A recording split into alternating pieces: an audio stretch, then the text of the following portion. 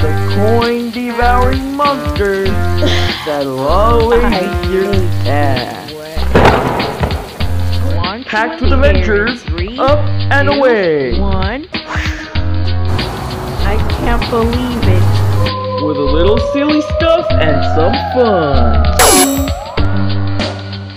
Including adventures from the past. Hmm.